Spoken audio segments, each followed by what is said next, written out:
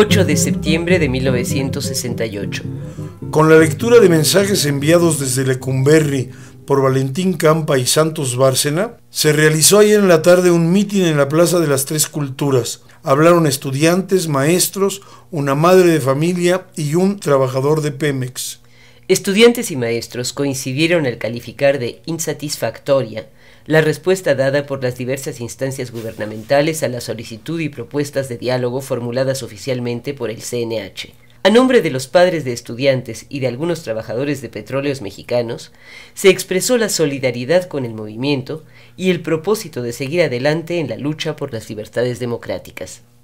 Hoy, en conferencia de prensa, los voceros del Consejo Nacional de Huelga reiteraron que de hecho el gobierno no ha respondido si acepta o no el diálogo público propuesto formalmente. Recordaron que el CNH propuso lugar, fecha, hora y temas para la discusión. El CNH concluye. Reiteramos la necesidad de un contacto público del Consejo Nacional de Huelga con el Gobierno federal y pedimos al Ejecutivo se pronuncie respecto de si acepta o no el diálogo público. En caso de que la respuesta sea negativa, que dé a conocer públicamente las proposiciones que ofrece. El movimiento popular que sostenemos continuará hasta obtener las soluciones políticas que pedimos.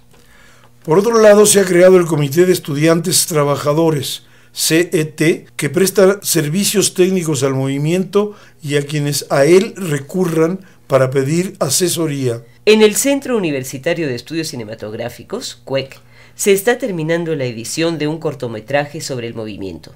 Abarca desde la concentración con el rector Barrosierra el 31 de julio en Ciudad Universitaria hasta el momento actual, e incluye la violenta desocupación del Zócalo por las fuerzas del orden en la madrugada del 28 de agosto. El film se intitula México 68. En Sinaloa hubo una manifestación de estudiantes en huelga a los que se han agregado los del Tecnológico Regional. Las mujeres de Topilejo, en el suburbio semirural al sur del DF, se han apoderado de varios autobuses para garantizar que los concesionarios indemnizarán a los 30 heridos y los deudos de 10 muertos en un accidente ocasionado por un chofer de la línea México-Xochimilco. Los habitantes de Topilejo declararon que ante la negligencia de las autoridades han desconocido al comisariado ejidal. Además aseguraron que tienen el apoyo de los pueblos cercanos y que dan el suyo y su solidaridad al movimiento estudiantil cuyas brigadas les prestan ayuda jurídica y material.